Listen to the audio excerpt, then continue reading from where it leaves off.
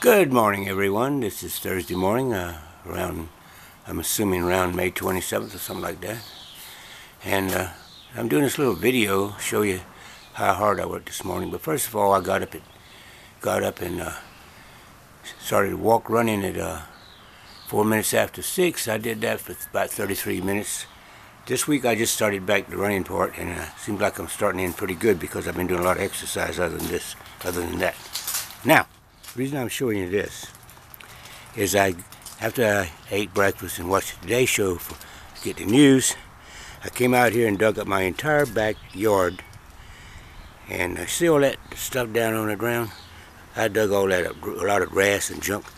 So I came out here and dug up the whole backyard with a pitchfork. And a few things I had to use a shovel on. And now the ground looks Oh, oh, and then I used a uh, hoe to even it out. Then I used a rake to smooth it.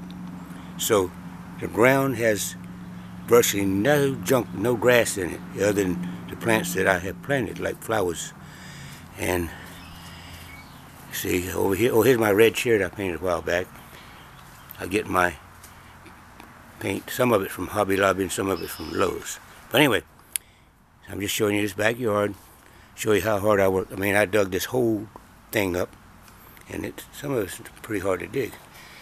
Come around here like this. I was sweating, sweating like a, like a stuffed pig. Yeah, that's what it is. Stuffed pig sweat, don't they? No, wait a minute. Pigs don't sweat. Well, anyway, here we go.